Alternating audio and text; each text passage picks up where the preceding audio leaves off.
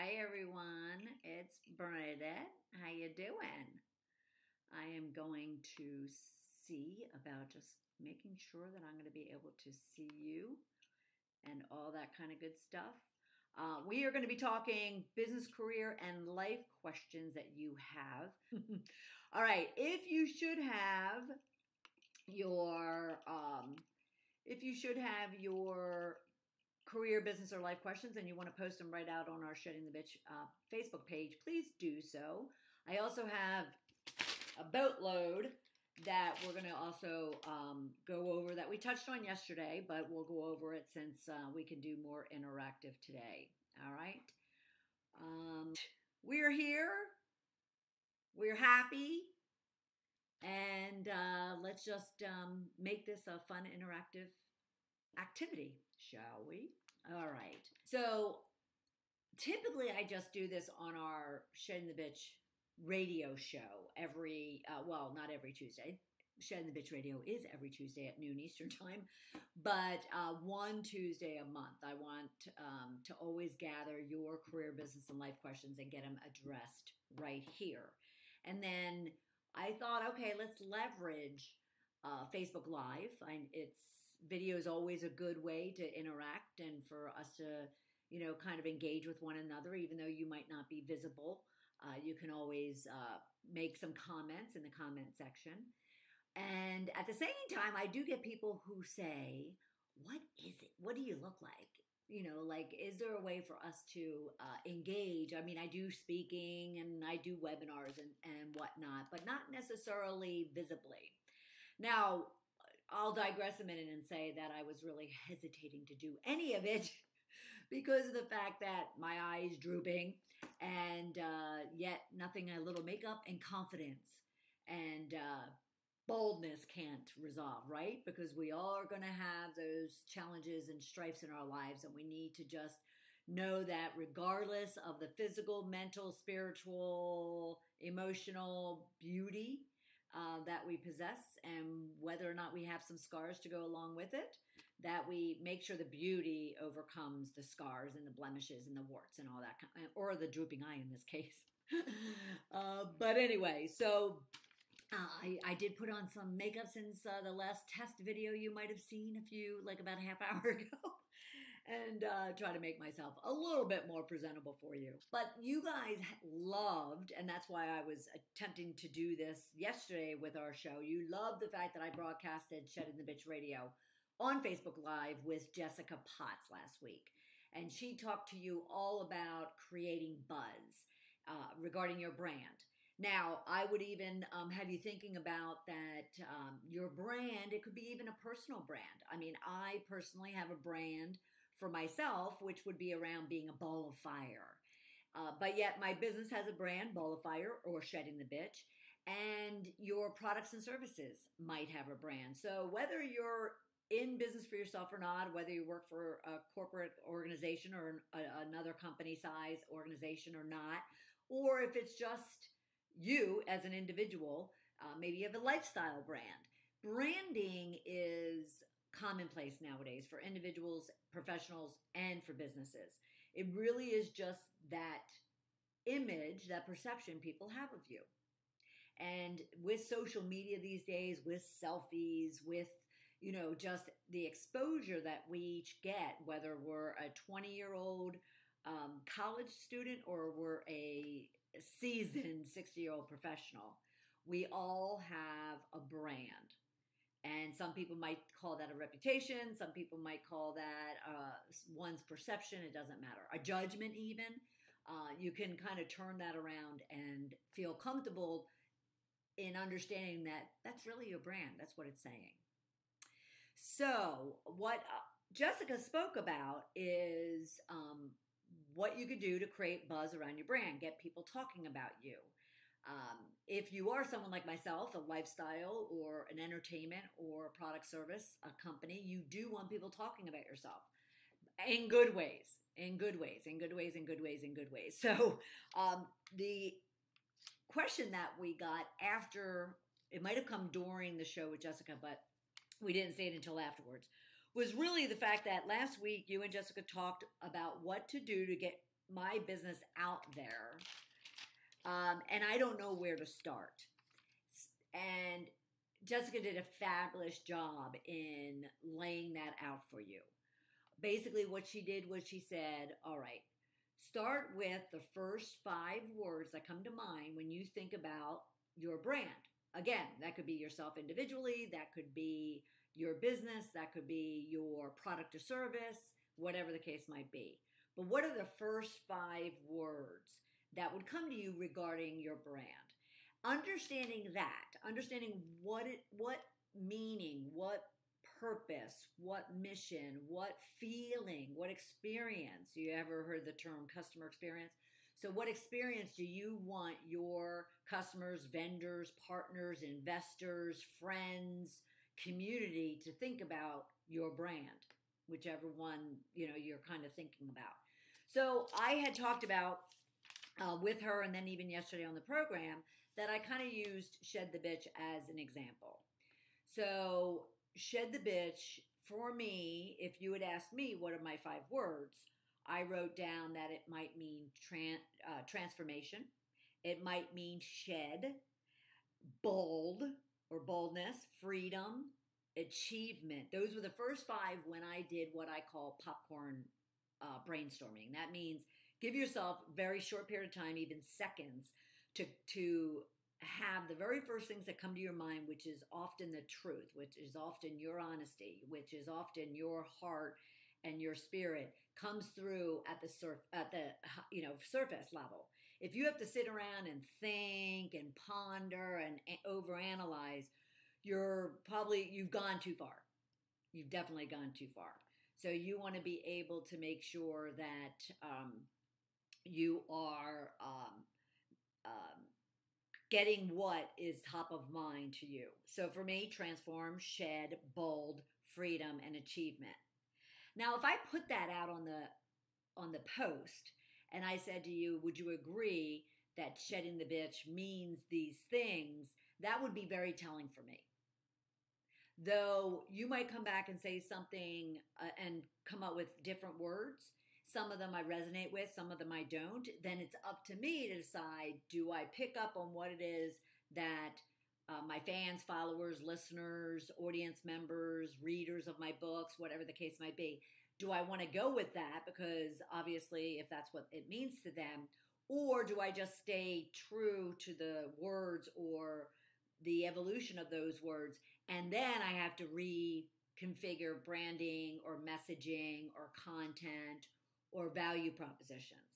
Doesn't mean the words are wrong if other people don't resonate with it you just might not be communicating them clearly. And um, and I also kind of threw out this example of Google, or think of one or two of the brands that you are loyal to. Like I mentioned, Google and QT. Um, for those of you who uh, aren't familiar with QT, it's a it's a gas station basically, and I always know with QT, for instance, that they're clean, they're reliable, they're friendly, um, they're convenient. They're always in stock. Um, I feel safe. I would say that's it. So that's like seven. Um, but that's how how you want to think about it. Is what are those things? Now, if QT were to come and say, "Well, Bernadette, those aren't our our uh, uh, brand statements or brand words," um, you know, we mean to do X, Y, and Z, well, then, you know, they would want to hear from their consumers as to whether or not they're in line and congruent in their messaging and their processes and the way they serve their customers and the products and services they provide. Make sure that they're all in line. Now, for those of you individuals out there, you can still do that for yourself. You know, if you were to be asked, what do you think your friends and family and community would say about you?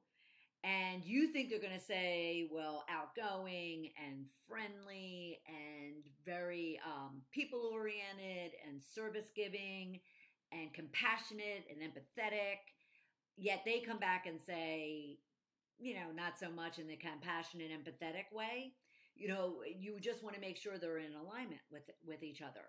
And if you do feel, and we talk a lot here on Shedding the Bitch about uh, evolving, if you aren't where you want to be or don't like who you are right at this very moment in time, you have an opportunity to change that and to move that forward.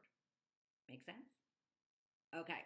So Jessica talked about the five words. What I'm just going to suggest that you do, and I'm even going to put a little note out here um, to, um, uh, you know, re-listen, listen to the replay of Shedding the Bitch Radio. Oops.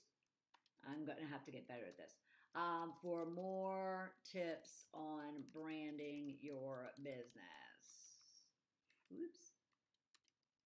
And I should have the link, but I don't. Okay. So, see, this is all kind of like a guinea pig process of what it is that we're going to want to to do to improve and to really provide you value because that's what I saw this Facebook live streaming to do is to provide you a better or a different or an additional value in how you want to interact with myself, my guests, and the community as a whole.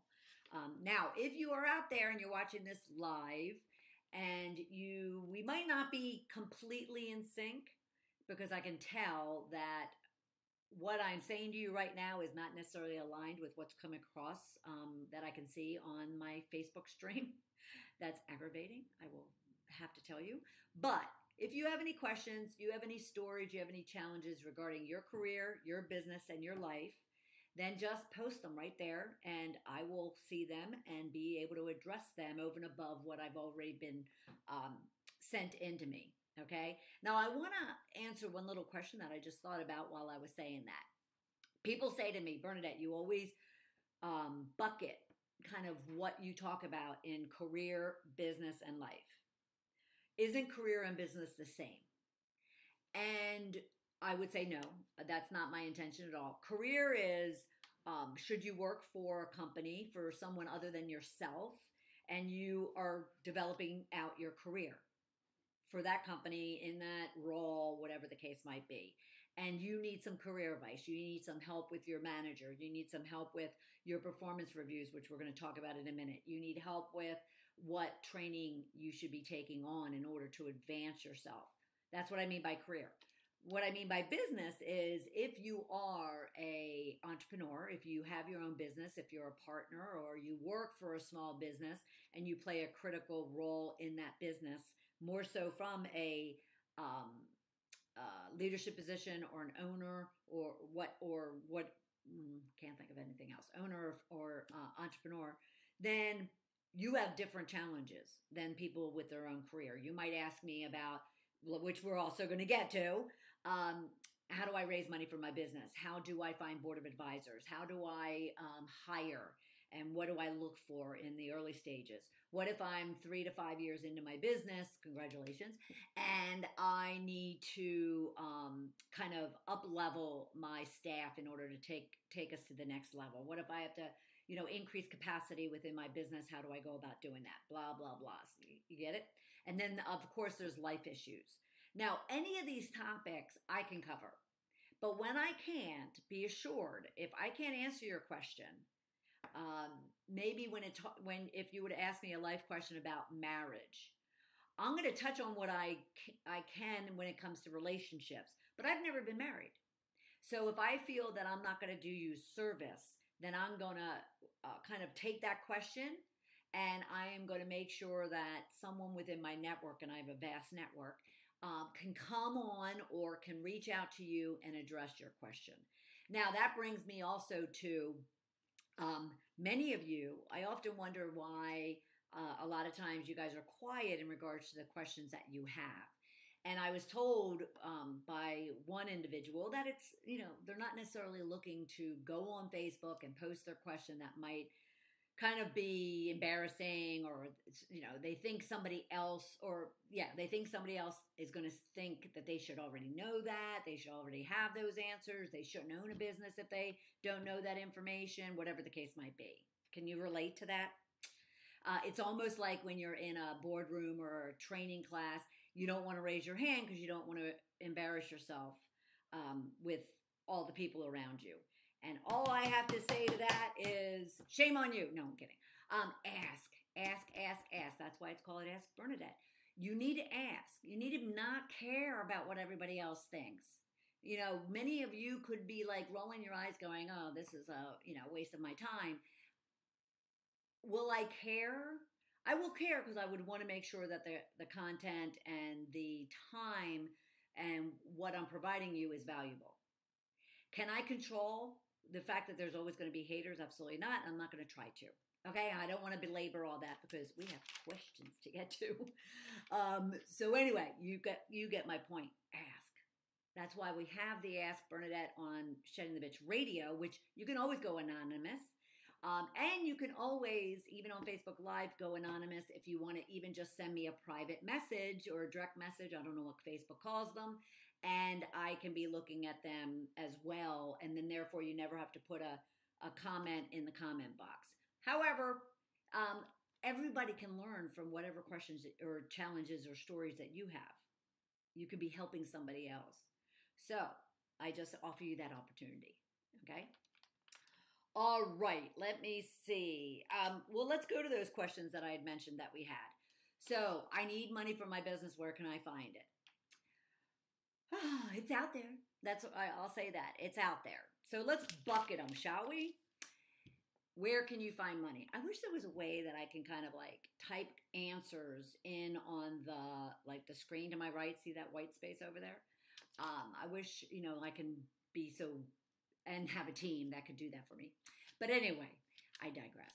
Uh, so, what can you do to find money? Bucket them. Your money. That's one place. Friends and family money. You can even separate that friends and family. You can even say friends, family, and community. Okay. Then you have angel investment money. We'll talk about that in a second. Then you have venture capital money.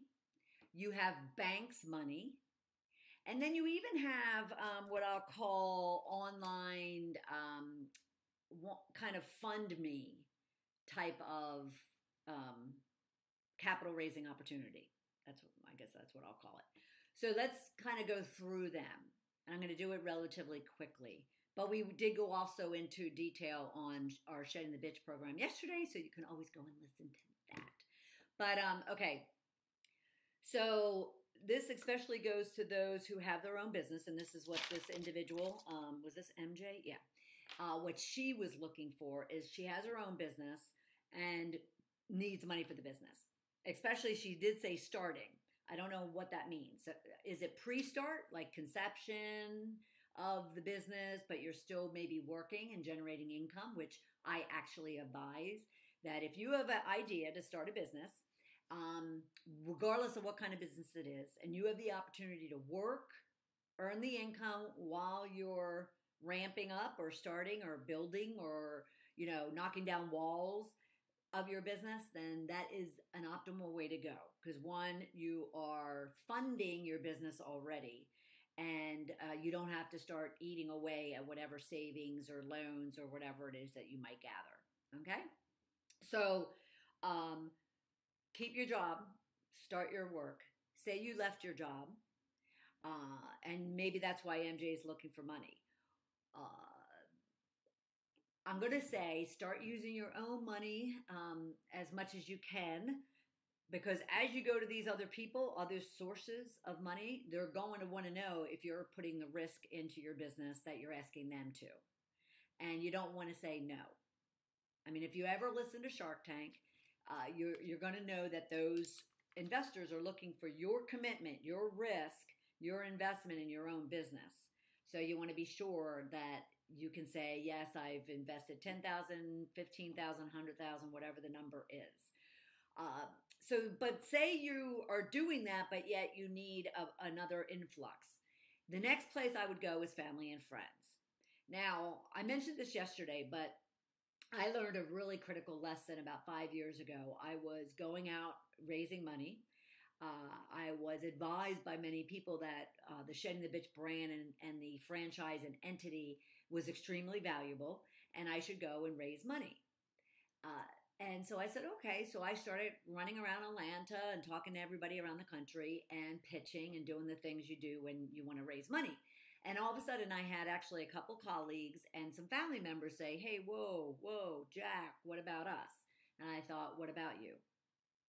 Now, prior to this period, I had did have a couple of uh, colleagues slash family members who have made investments in the business, and uh, they certainly, you know, were um, given the opportunity to do so again. Yet I wasn't going to go constantly going back back to them.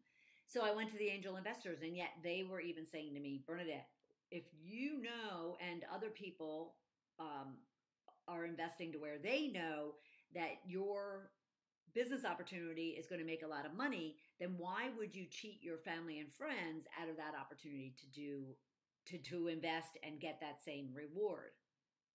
And I thought to myself, cheat them out. And I, they didn't mean cheat, but they said, you know, why would you not give them that opportunity to be prosperous and to have a good investment opportunity uh, presented to them? And I thought that that makes a lot of sense. So take my lesson, learn from it. And uh, if you do have a business and you do, I would hope that if you are going in business, you know that you're going to be looking to make a profit one day. and it's enough of a profit to where someone can make a return on their investment. So they give you 5000 you give them back 6000 for instance.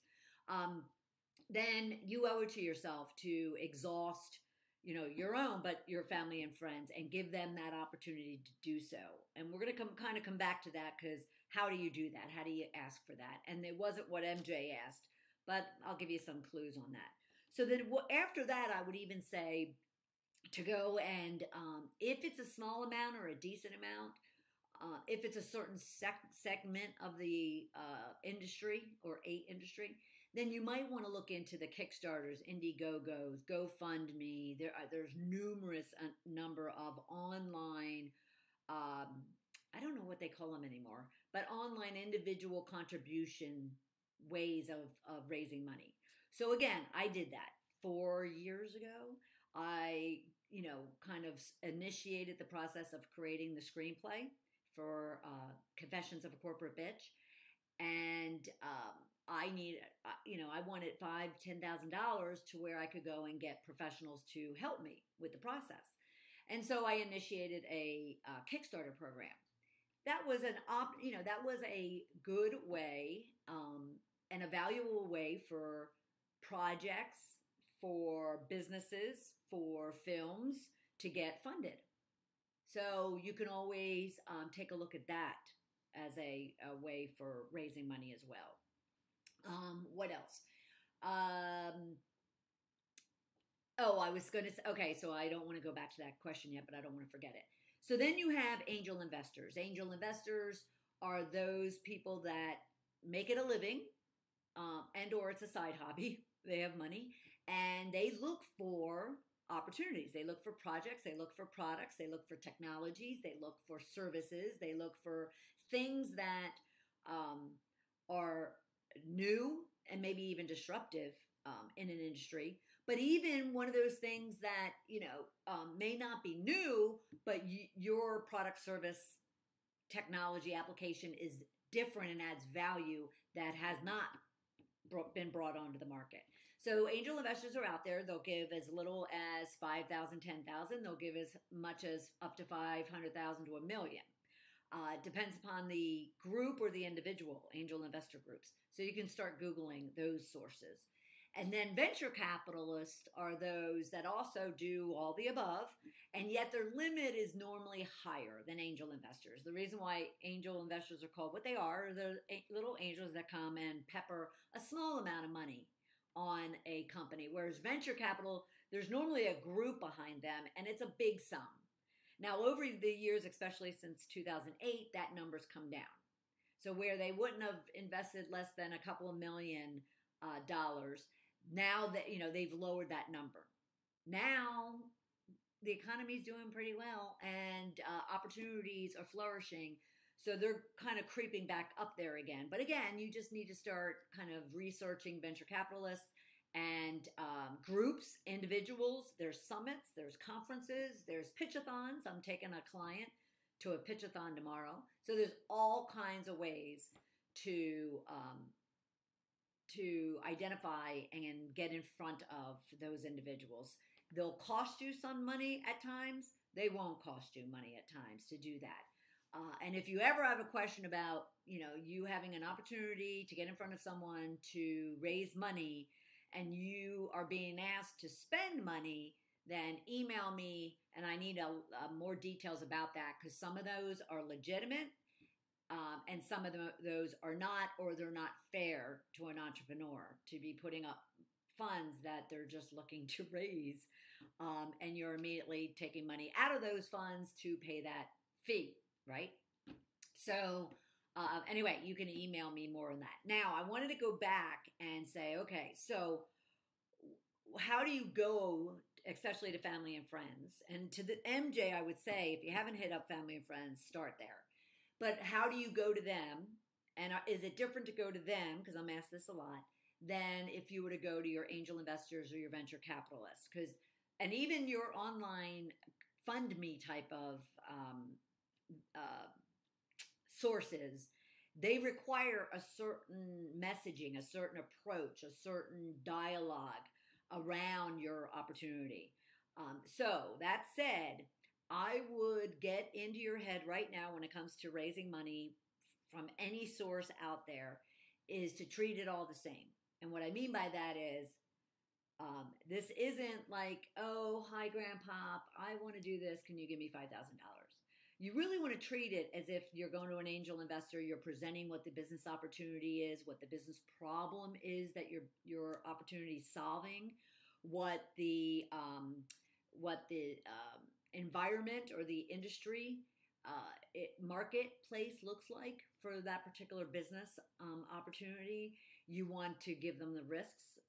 I mean, even if it's grandpa for five thousand dollars, you may never be able to pay them back um, based on certain risks that that apply. The point being is, do research on the the top key points, the top key data, you know, information that angel investors or venture capitalists are looking for when it comes to uh, giving out money and use that to then go and sit down with grandpa and start from scratch and say, all right, this is what I'm looking to do. This is the problem that we're solving. This is the opportunity that we have, and which the opportunity is kind of how big of a of a, a pot of gold can you be creating, um, not only in revenue but also the profit. Uh, and therefore, they can expect their money to be returned to them with a with a profit, with a return on investment, as they call it, of X in a certain amount of time. So treat your family and friends um, in the same manner that you would treat angel investors, venture capitalists, um, because, and quite honestly, GoFundMe, Kickstarter, Indiegogo, they ask for and recommend that you provide that same type of information, even though they're individuals sitting at home on their computer that might give you $5 they still deserve to know what is the opportunity, what's the problem that you're solving, you know, um, what are they going to get in return uh, for your, their donation in that case or their investment. Um, so get educated on all the different ways to get sourcing for for your business, and uh, you'll be pleasantly surprised um, if you do. Okay. Um, I'm watching myself on um, the screen and I can look awfully goofy. You can't hear it because I actually muted it and I'm hoping to God that I didn't mute you. Uh, or I'm doing all this for no reason at all. Um, but I am going to type in here. Anyone out there? And do you have questions? Um, so, uh, we'll work out all the kinks in regards to this, but I definitely wanted to take a risk, take a chance, see if it actually, um, you know, works and operates. And yes, I could be sitting here, blah, blah, blah, blah, for, you know, an hour and maybe it didn't come across. but I wanted to do it and make sure that this was something that I can continue to practice and, and work through. And you know what? I'm not ashamed to say that because there's no other way for me to be able to um, to do this uh, without exposing whether you know all the technical issues that might occur. There, I, I, could do it in the middle of the night, but you know what? I like my beauty sleep, so no, that wasn't going to happen. Anyway. um, all right, so I'm going to jump to a more of a social, uh, personal life question that I was um, that I was given. Um, I have a friend who is constantly stating how pretty she is and how her boyfriend's friends um, must be jealous and that other girls um, are jealous of her, blah, blah, blah, blah, blah.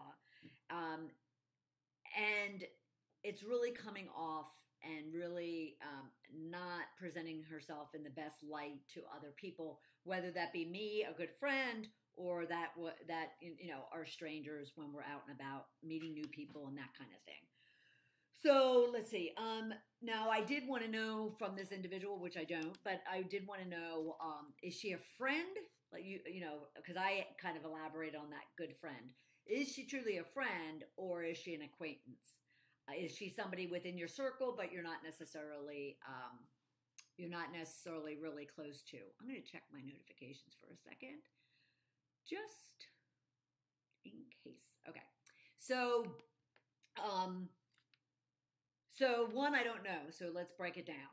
Um, let's let's assume that she's your friend, and she's even a good friend. I would expect if you know, to however you define a good friend, I would expect if you are a good friend, then you have no problem telling her uh, straight up. Now, do you have to do it straight up to where you hurt her or offend her? Absolutely not. And that that's a whole other um, topic of conversation we can have. But I'll just say that as a friend, you just need to be direct and honest, but yet at the same time sympathetic. Uh, you're not looking to hurt her. You might even say that. I have a concern I want to share with you um, because it's you know um, it's painting you in a bad light, and I don't think that that's how you want other people perceiving you. But when you come off with you know always saying how pretty you are and that other people might must be jealous of you and so forth, or so, even like I she did provide me a little bit of detail around. Um, the guy, she said something to the effect of um, the she was questioning whether or not his her friends thought, why is, you know, how did he get her? Because she's so pretty. Um, and I don't know these people, but I'm going to take a stab that he's probably not too bad looking himself. And uh, this really sounds actually, you know, it is um, conceited, it is a little bit arrogant on her part because uh, you never know if he could be, you know, dating the model next door uh, and that he attracts you know good looking people all the time so she does need a little bit of a, um, a reality check uh,